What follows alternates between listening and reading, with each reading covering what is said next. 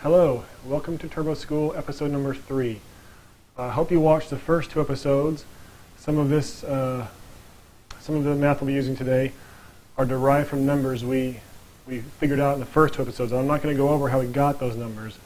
Um, those who have watched the first two episodes will be very familiar with those numbers, and those who have not, you may want to go back and watch those. You can watch this live, of course, but go back and watch those and re-watch this one so you can understand how we got the numbers we're using and what they actually mean. So anyway, to start off, we're going to go back with our, you know what we wanted, what we decided we want to do is 550 horsepower.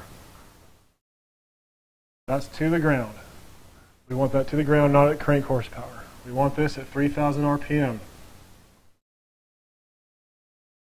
And we're going to do this in our older 12-valve Cummins engine because I got a I got one cheap to do all our turbo testing on.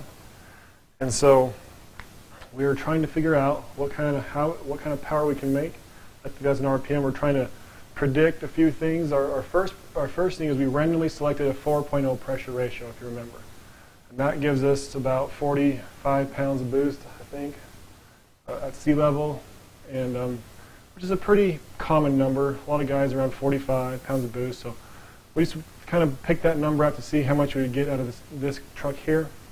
And um, we found that was not enough boost to make our power at 3,000 RPM. And so we were trying to figure out, do we increase boost? That will work. Do we increase RPM? That will also work. And so we're, today's math is we're going to find out how to compensate for altitude. Because I don't live at sea level. We're, we test higher. So we're going to go over that right now. But first thing I want to talk about, in our last episode, I discussed uh, density ratio.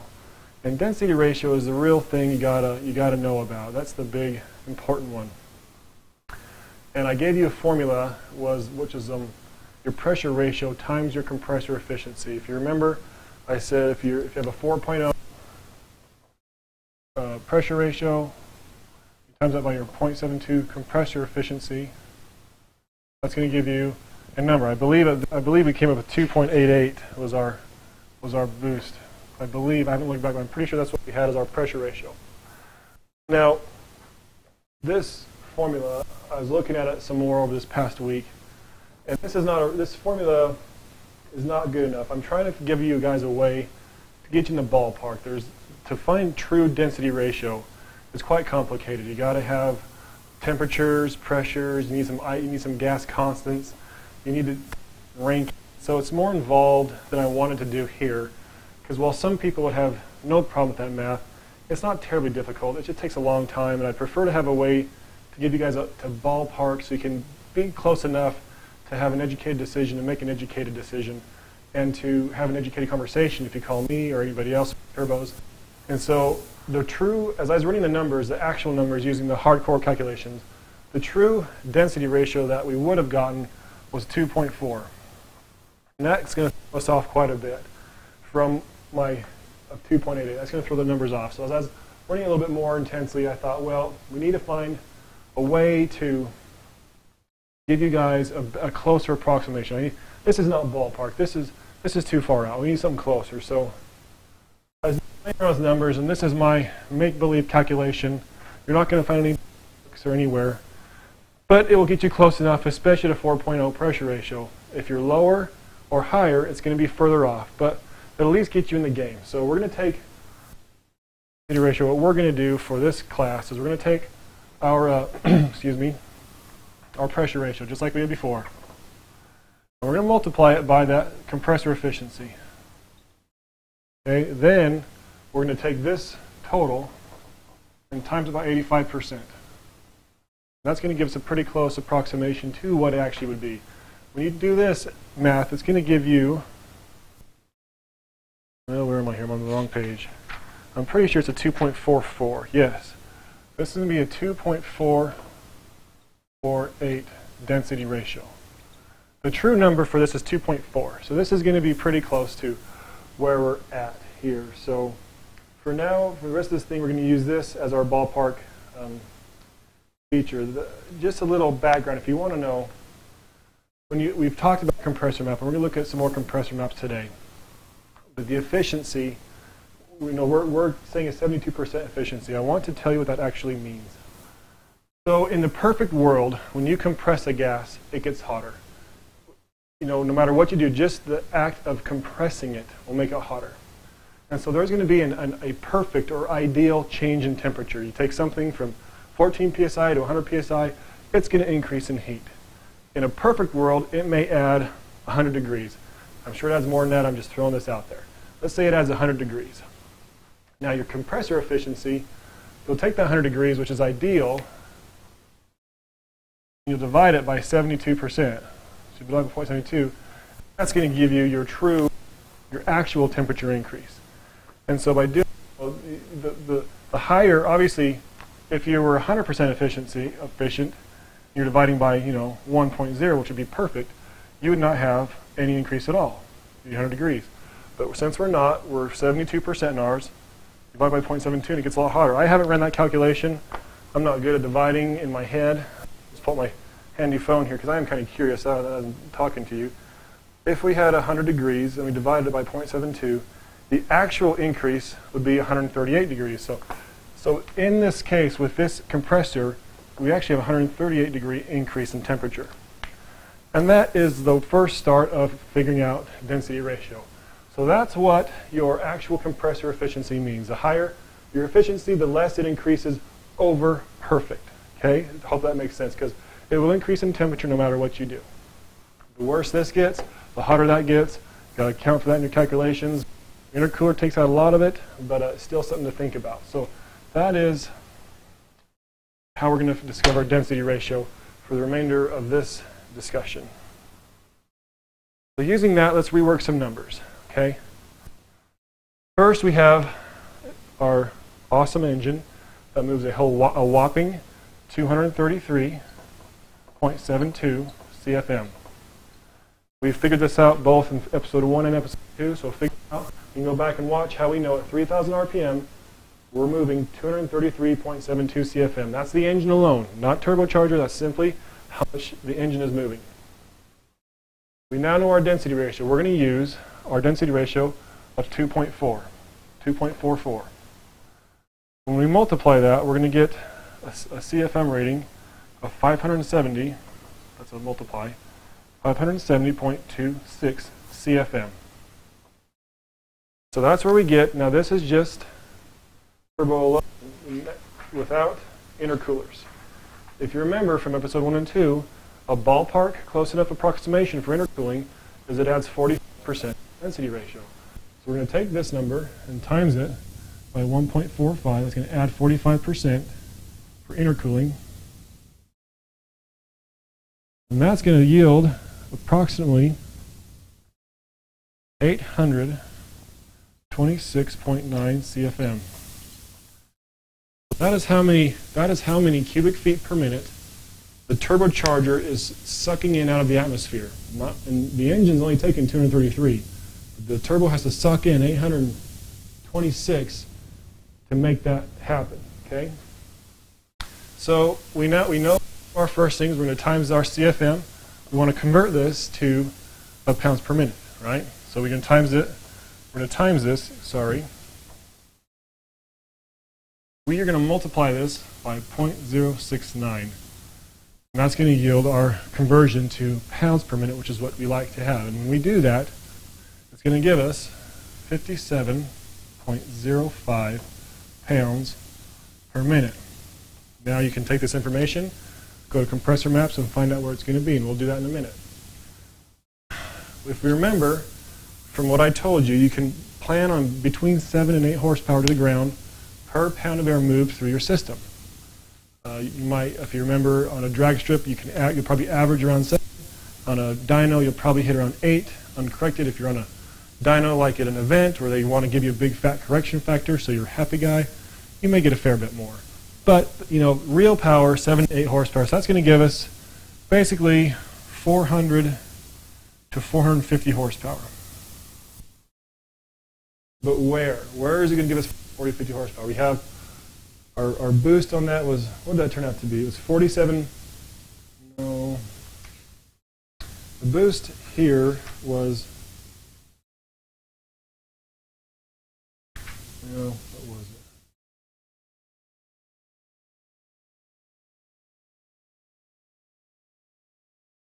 Forty-four point one. That was our 4.0 pressure ratio. It's 44.1. That is at not where I live. That's at sea level. And so, right now we need to do some figuring out. Okay, so where we're going to be testing, so we're going to, I'm going to put a number here. So let's go back to, let's go back here. Our engine at, at sea level was moving how much? 800, 826.9 CFM. That's how much it's moving at sea level. But I'm not at sea level. All the testing you're going to see, all the turbos we're going to test on the dyno are here where I live in Cedar City, Utah. We're 5,500 feet, maybe 5,700 feet, depending where you're at, because we're kind of in the Healy, up on the hill, on the bench, or down in the valley. We're going to say around 5,500 feet. Okay? And so, if you remember, at sea level, at zero feet, um, the ambient air pressure is 14.7 psi. That's what you have around you all the time. When your gauge reads zero, it's 14.7 psi. If you remember, what your, your gauge reads pressure above atmosphere. So 1 psi is 15.7 psi absolute, 1 psi gauge. So where I live at 5,500 feet, our pressure is basically 11.9 psi, which is a fair bit less than sea level. One of my big gripes about living here, to be honest with you, I kind of I moved here thinking I'd be lower elevation than when I was. I was too dumb to actually look at a map. But um, I was hoping to be lower elevation because I'm a horsepower junkie, and as such, I want to be like negative 8,000 feet. That's perfect elevation for me. Negative 8,000 feet, go real fast. But I live, instead I live at 5,500 feet above sea level, so turbos are a big deal to me because they make it so I can go fast. And because um, naturally aspirated here, everything's so slow. It's awful. But, so we now have to do some math because we're at a 4.0 pressure ratio, right? We know that. What is my boost here going to be? It's certainly not going to be as much as it is in sea level. Go back, 4.0, well, let's multiply it by our pressure ratio or by our ambient pressure. That's going to give us our PSI absolute. That's real pressure. And that's going to be 47.6 PSI absolute. That's, the overall total pressure going to our engine. But our gauge is not going to read that because remember this is just above gauge pressure, which or above atmosphere, which is 11.9. So we got to minus that 11.9. That's going to give us 35.7 psi gauge. So if you're running a 4.0 pressure ratio at sea level, what was it here? It was 44.1 sea level. 44.1 psi gauge. That's the difference you're going to see in your boost gauge if you run at a 4.0 pressure ratio. As you come up the mountain, your turbo is going to run a little bit harder. That's why when people do corrected numbers in the dyno, it's not accurate because the air's thinner up here, the turbo is going to spin faster. So it makes up a lot of the difference. You'll run a higher pressure ratio here than you will at altitude at sea level. But you know we're going to be able to manipulate that, so we're going to set it right at a 4.0 pressure ratio. We can make that happen, and so we're going to be able to test whatever pressure ratio we want to see what kind of power we get here to the ground at 5,500 feet. And so we're going to set it to 35.7 psi. We're going to map it out on our compressor and see what we can do. But if this is all we got, we should predict what kind of power we can expect at a 35.7 psi at 3,000 RPM. Will it be enough for 550 horsepower? No. How much will it be good for? Not sure. We know that at sea level, this is good for 400 to 450 horsepower. So obviously it's going to be a lot less here because we're losing quite a bit of boost pressure. So now we're going to find out what kind of power we can predict with um, this kind of stuff. So let's write, we're going to have the CFM, let's see, we're going to have, well, it'll be fine. Okay, so if you remember my talk to you on lesson two, the quick and dirty way to use density, density ratios predict airflow. We're going to do that now using our new 85% method. Okay, so we already discovered, if we, we'll go back and do it again, we have a 4.0 pressure ratio. We have a 72% efficiency. We're going to multiply that by And that's going to give us our 2.44 density ratio. That is the density ratio we're going to achieve with a 72% efficient compressor and um, at this level. And we'll, we'll do better when we add intercooling, but for now, that's our density ratio. So we're going to figure out the density ratio at 5,500. Um, not, this is our sea level CFM. What it is, what is it here at 5,500 feet where air is so much thinner? You should know the answer by now, but in case you don't, we'll figure it out. So we have our 233.72 CFM. We've been using that for three episodes now.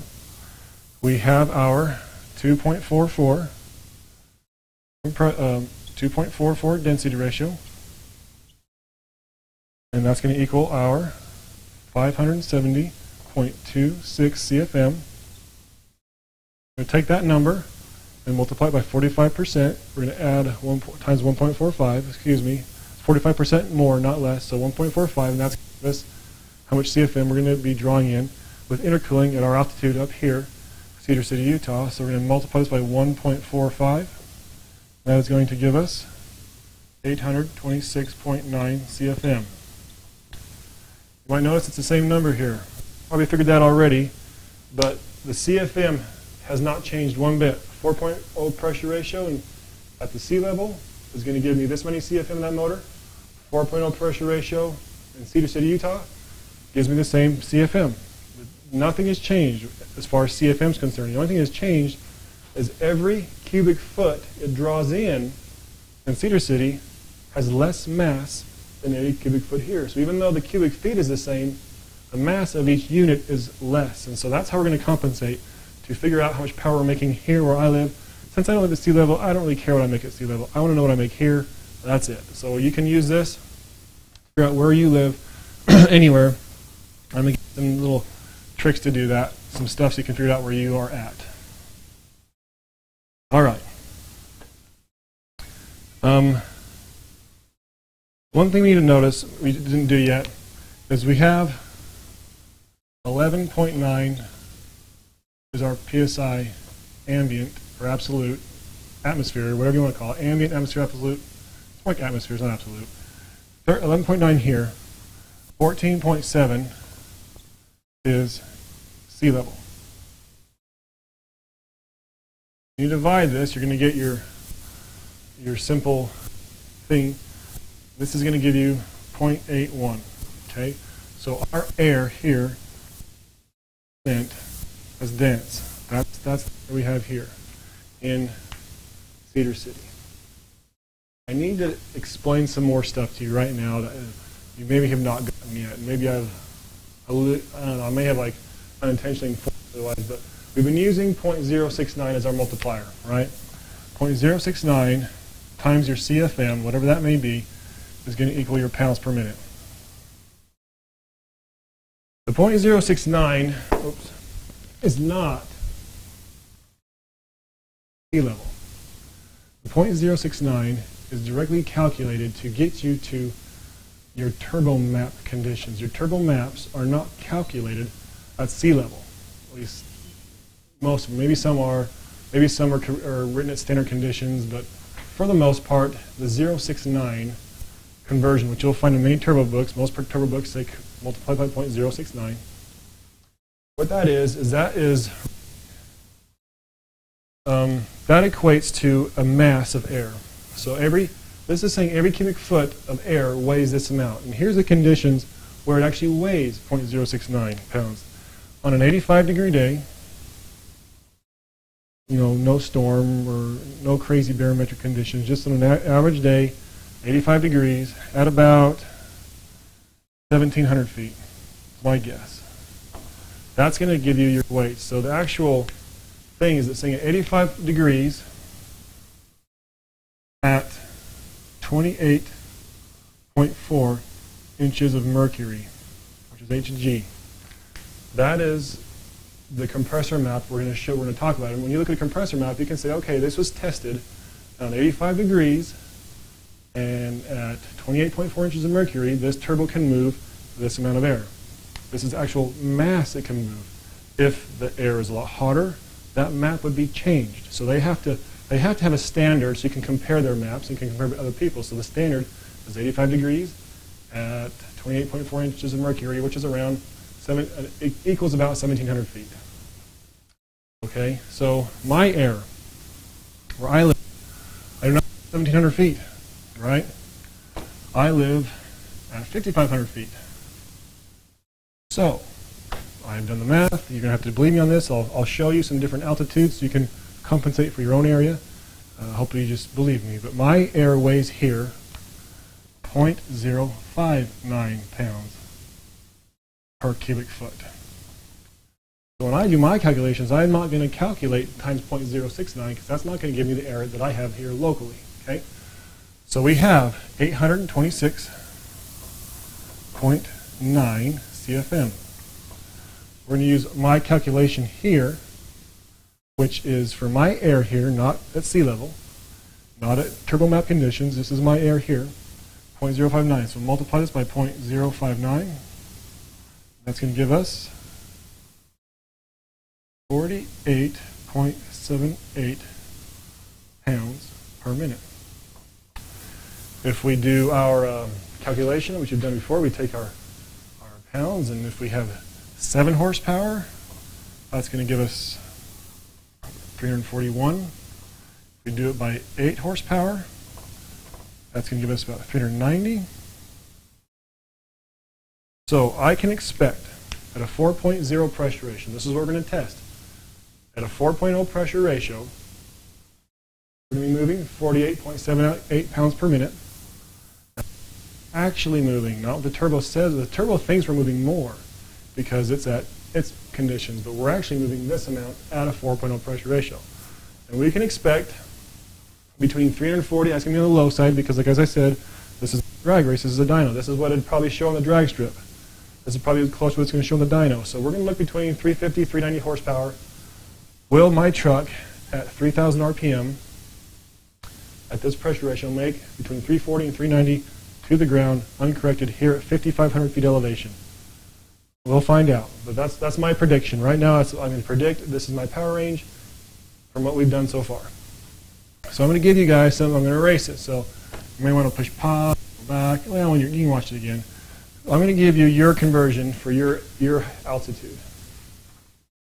So the .069 is again for 85 degrees at 100 feet.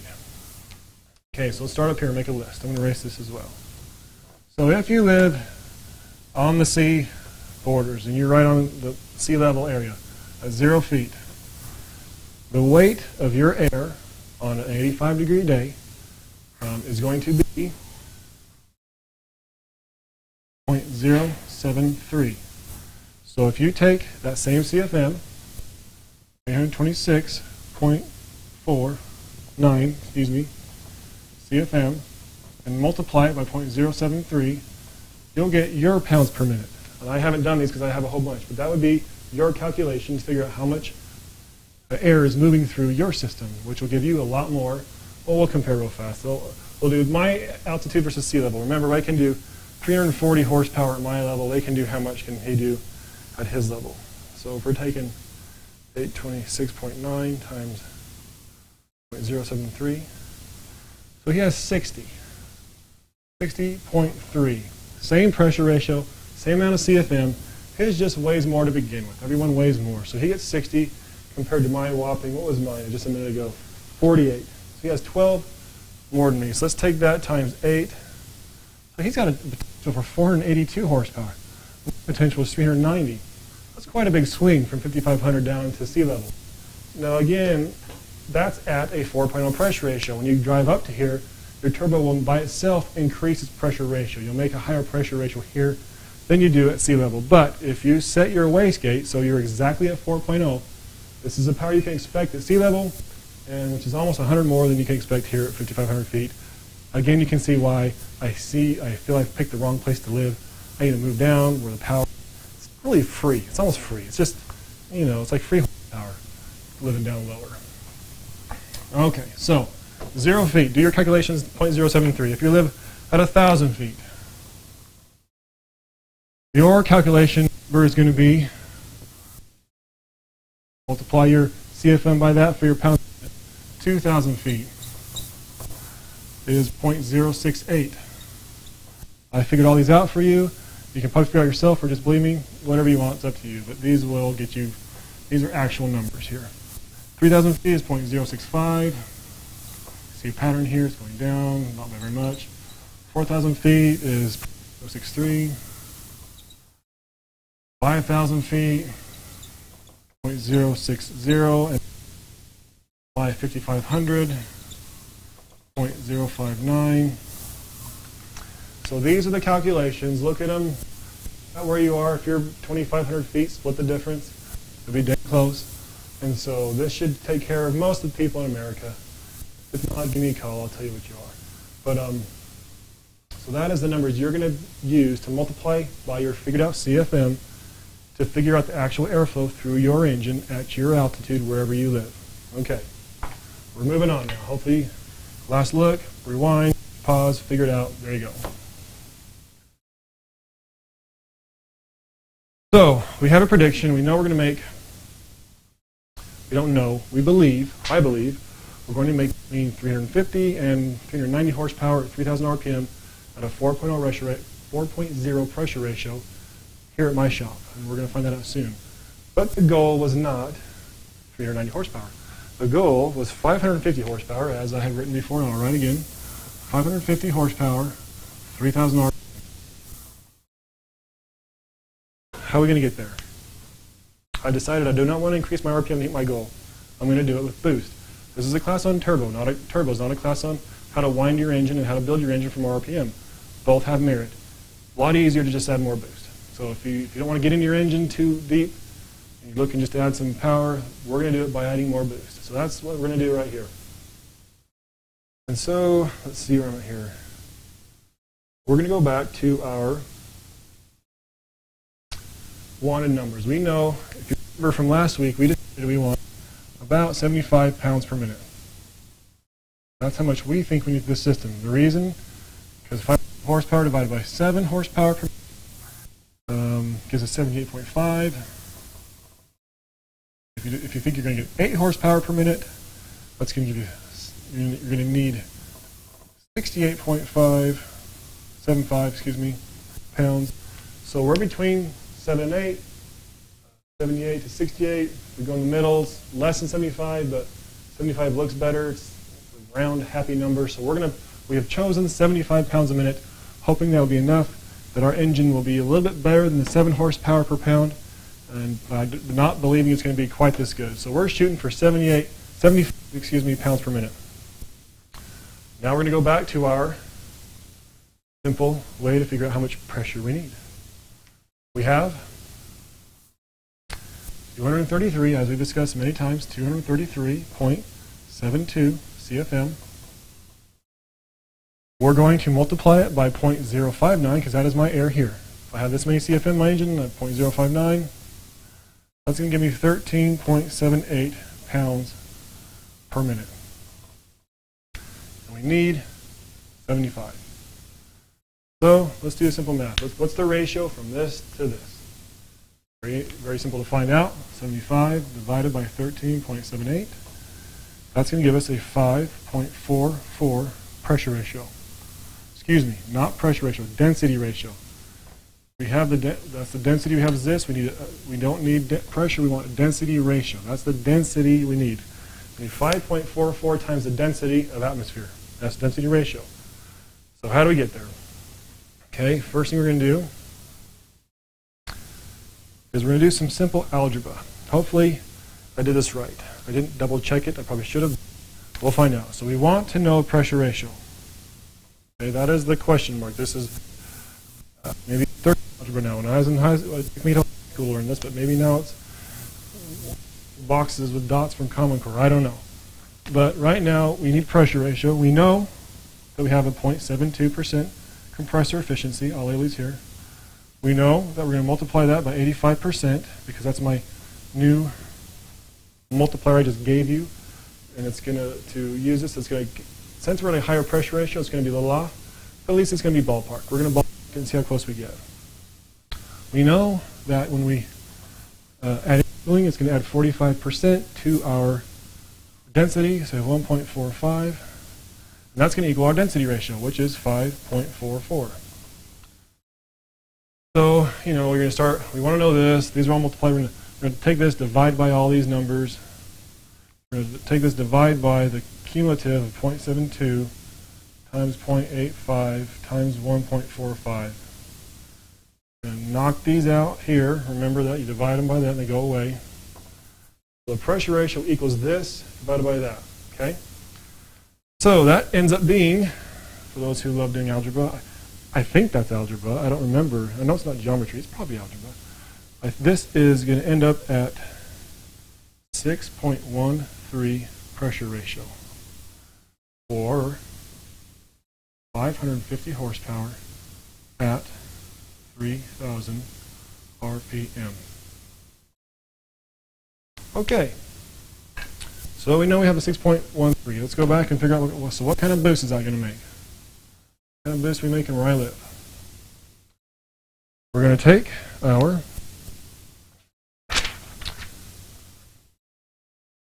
Six point one three times eleven point nine minus eleven point nine, and that is going to equal sixty-one psi. Let's get there.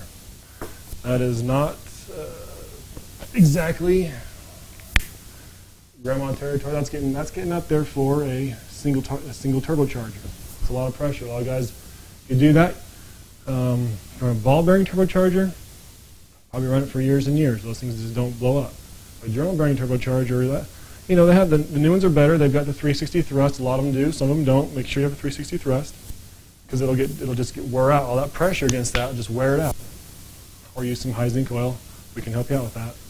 But um, you're going to want, just make sure you're, you're ready for this, that your turbo doesn't blow up. I have blown up turbos, yes. Am I going to push a turbo this high in the dyno? Absolutely. We have, we're going to, we're going to push this high. I think, I know people push them higher, so we're going to go this high. And we're going to predict that we're going to be there. So that's going to be our guess, is going to be for 550 horsepower, going to be at 3,000 RPM, 61 pounds of boost, PSI gauge. All right, so here we are. We know what we need. We know what, what kind of pressure ratio is that? Well, we know it's a 6.13, so let's go look at maps. What kind of turbos? Where is that going to fall on the map? Let's go take a look. I'm going to go over here to the computer now, and uh, we're going to switch screens, and I'm going to go to a couple different compressor maps. We're going to go over a few maps and look at this stuff.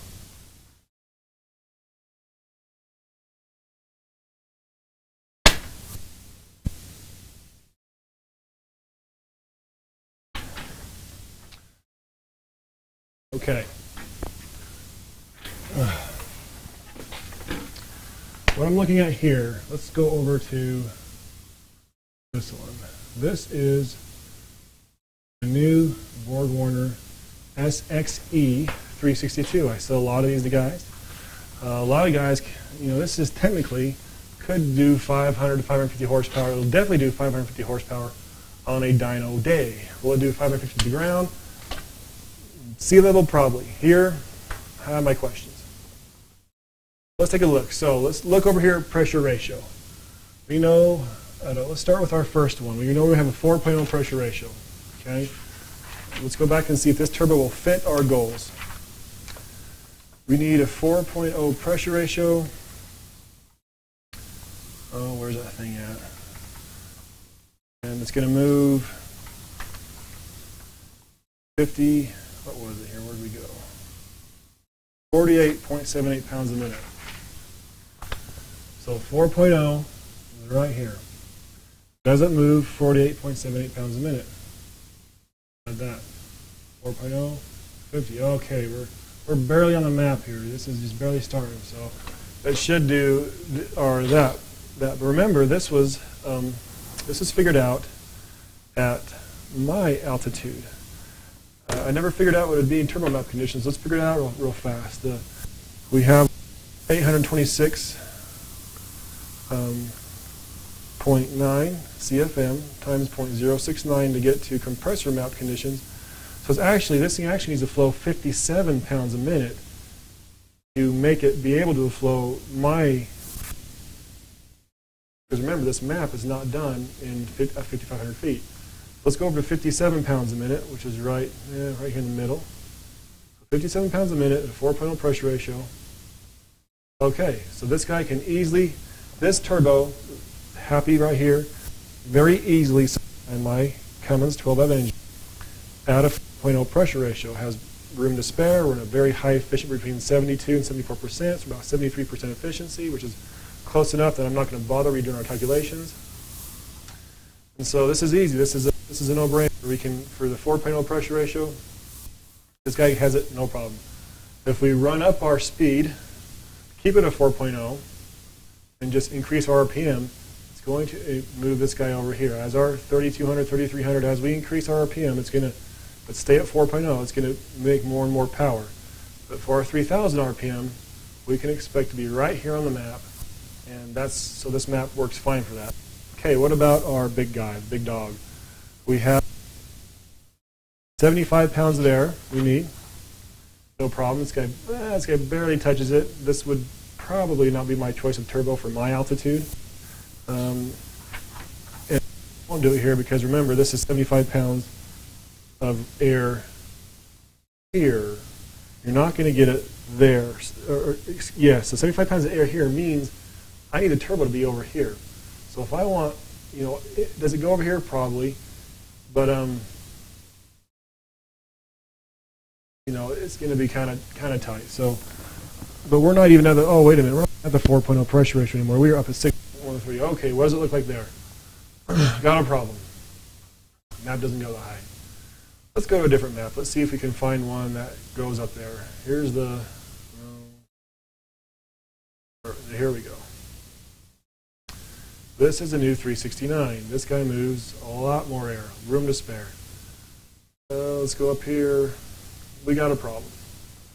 This turbo only goes to 5.0 pre pressure ratio. What are we going to do? Well, the answer is simple. This is not the end of what the turbo can do.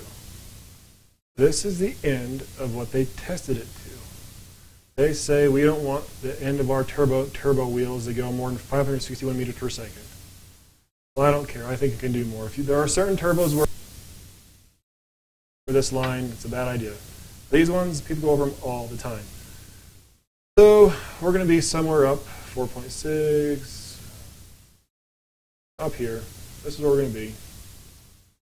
As you can see, we are not going to be at 72% efficiency. 72% stops at 4.0. Does not go any higher. As you go higher than that, 70, 68, 66. So hopefully our intercooler makes up a lot of difference. We may end up having to need some more boost. 61 may not do it because we, we calculated 72% efficiency rather than the 50 we're going to get because we want this thing cranking boost. So we're going to we're going to really push this guy well past its design limits because we wanted at 3,000 RPM. If I was smarter, I'd say I'd say let's drop the boost down here and worry about RPM. But again, this is not about building RPM. This is about making boost. I'd probably be a little bit smarter to do this with set compounds so everything could be within the map. But people do this all the time, and so we're going to give it a shot. Can we make 550 horsepower at 3,000 RPM at 61 psi gauge?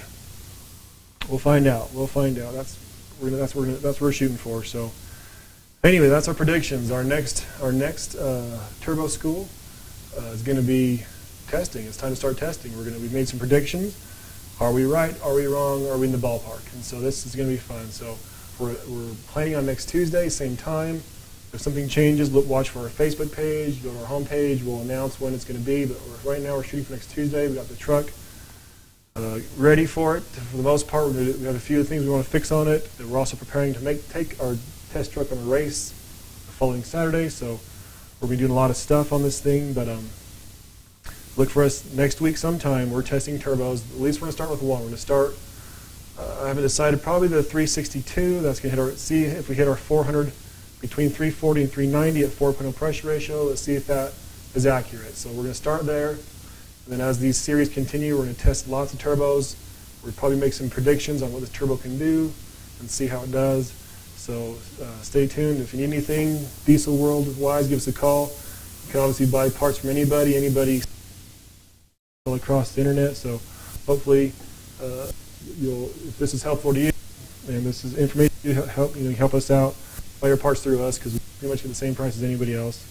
And we have it, you know, we're putting on our website soon, but decided to test to you week.